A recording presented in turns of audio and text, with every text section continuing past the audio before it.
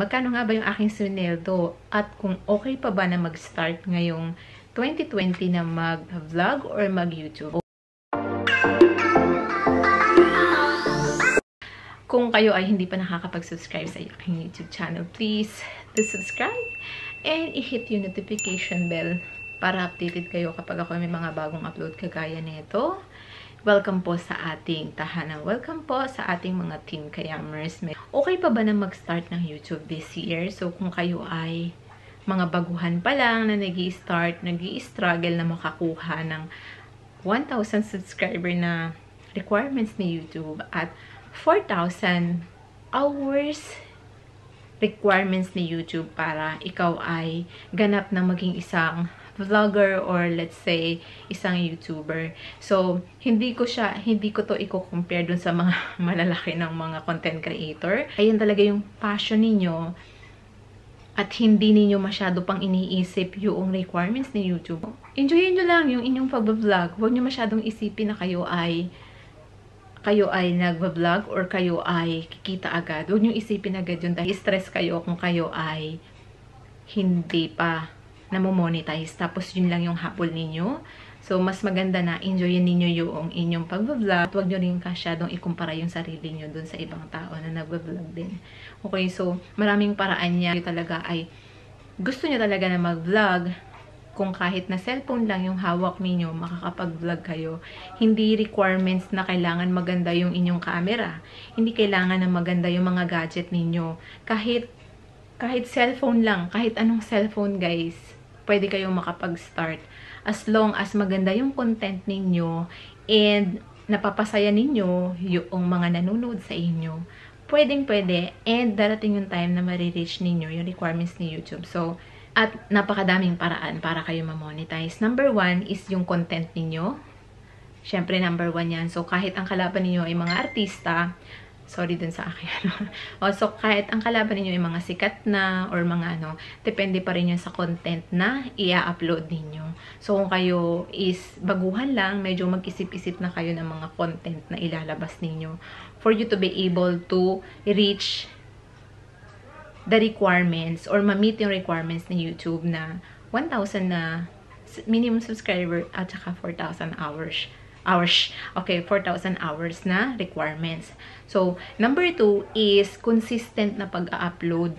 Hindi kayo dapat mawala ng pag-asa dahil nandoon lang yan sa consistency. Kung kayo ay upload din ng upload ng video, so malamang sa malamang is darating ang time na kayo ay mamamonetize.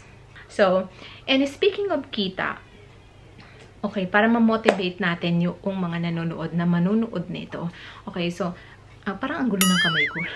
parang ganun ako lang ganun. Na, na, nababothered ba kayo? Nandidistract ba kayo sa kamay ko? Eh, okay, so speaking of pera, dahil usapang pera naman ito at dahil syempre yung ating utak naman is gusto rin natin na syempre magkaroon din tayo ng kita kay YouTube and gusto rin natin na kumita tayo, kumita tayo syempre, nag enjoy na tayo. Mas, mag mas maganda din na kumikita tayo. Papakita ko sa inyo yung video ko no, kung paano ko nakuha yung aking first ever na sweldo sa Pilipinas. Umuwi kami ng Pilipinas, na-receive ko to sa Pilipinas. So, dumating siya sa Pilipinas at hindi ko din alam na dumating din pala to dito sa Qatar, yung unang request ko. So, ang nangyari, hindi ko siya na, ano, hindi ko siya na nagamit. Kaya kung mapansin nyo, hindi siya nakabukas. So, ginawa ko is, ganyan na lang siya. Parang, gagawin ko na lang siya souvenir. And, yun sa Pilipinas, ayan. Sa Western Union ko siya pinasok. So, panoorin natin yung aking pagkuha ng aking YouTube sweldo. Ano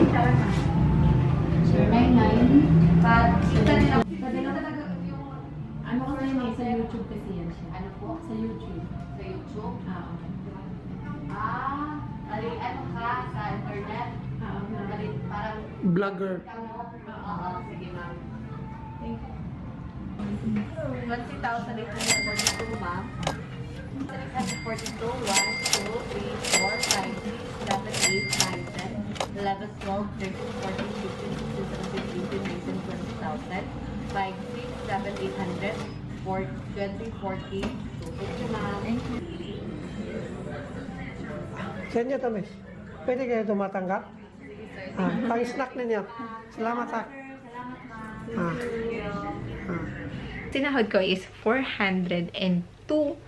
Okay, wag na natin isama yung butal, okay? So, $400 yung unang sweldo ko sa YouTube or kay YouTube. So, hindi siya ganun kalaki, pero um, tuwang-tuwa ako.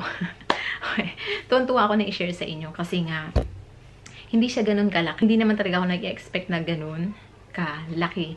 Or para sa akin, malaki na yon So, depende-depende po yun. Yung monetize ako ng December, and then February, uh, March ko siya nakuha. And as long as happy ka sa ginawa mo, at pinaghirapan mo naman din yung video na, so deserve mo rin naman na makakuha ng kahit na ganun. And thank you nga pala sa lahat ng mga nanood ng videos ko. Thank you sa inyo lahat. Dahil po yan sa inyo, kaya ako nakakuha ng $400. And dahil sa $400 na yan, binigyan ko din si ate doon sa Western Union. I'm not sure kung pwede sila, pwede ako magbigay ng tip, pero binigyan ko din. Binigyan namin sila nung kinuha namin yung aming um, YouTube sweldo sa Pilipinas. yon So, hindi siya ganun kalaki guys kagaya ng na-expect ko kung kayo ay kagaya ko ng mga small content creator or marami tayong mga kagaya ng mga nakakapanood nito na siguro nagbo-vlog din kayo or gusto nyo rin panoorin to para maging guide ninyo or makakuha kayo ng idea kung paano yung sahuran dito kay YouTube. So far, ayun po yung aking sinweldo. Hindi siya ganun kalaki, pero I'm so happy dahil pinaghirapan ko yan.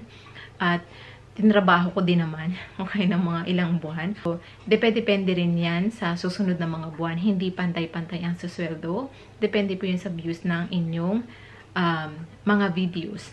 So, kung kayo ba ay may mga katanungan, please let me know on the comment section below kung meron kayong mga tanong, meron kayong mga request, at saka kahit kung ano-ano pa. Sana ay may natutunan kayo. At meron akong na-share sa inyo about kay YouTube at saka mga gustong mag-start ng YouTube. Pwedeng pwede po. Basta enjoyin nyo lang. Yun lang guys. Maraming maraming salamat po. I will see you guys on my next video. Bye! Assalamualaikum!